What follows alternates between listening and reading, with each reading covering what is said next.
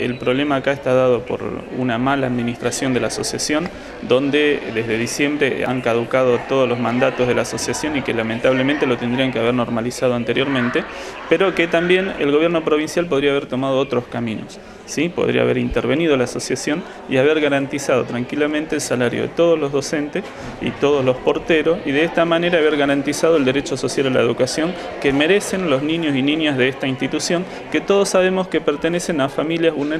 que no tienen la capacidad para eh, absorber por ahí lo que el Estado está invirtiendo en, este lugar. Primero eh, hay que ver lo que decida la Asamblea. Va a haber una asamblea de la asociación que va a ser este sábado, donde muchos compañeros y compañeras que también son trabajadores de, de la escuela están dispuestos también a ponerle el hombro y si no hay una verdadera normalización tendrá que hacer una intervención y asumir estatalmente la educación de todos estos niños y niñas a través de una estatización si es que no se resuelve este sábado eh, hacia futuro. Hemos llegado a esta situación por innumerables